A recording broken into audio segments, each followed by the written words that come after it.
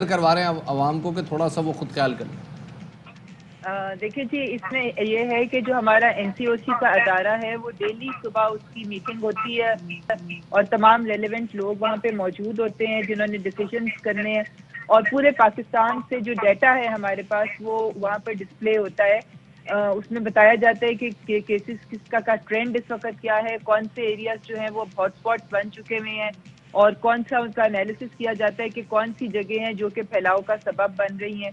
तो इन सारी जो इंफॉर्मेशन होती है, उसकी रोशनी में डेली बेसिस के ऊपर सजेशन दिए जाते हैं और फिर ज़ाहिर है कि जब भी कोई बड़ा फैसला करना होता है तो फिर वो एनसीओसी की सिफारशात जो हैं, वो एनसीसी यानी नेशनल कोऑर्डिनेशन कमेटी जिसमें चारों सूबों के बुजरा आला और दूसरे हम्म। सूबों के रिप्रेजेंटेटिव और प्राइम मिनिस्टर साहब खुद उसको हेड करते हैं हम्म। तो फिर फाइनल फैसला जो होता है किसी बड़े मेयर का तो कोई बड़ा अगर स्ट्रिक्ट लॉकडाउन बड़ा अगर इकदाम करने तो